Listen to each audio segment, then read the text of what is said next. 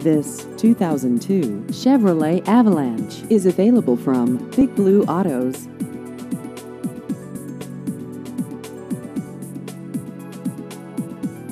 This vehicle has just over 135,000 miles.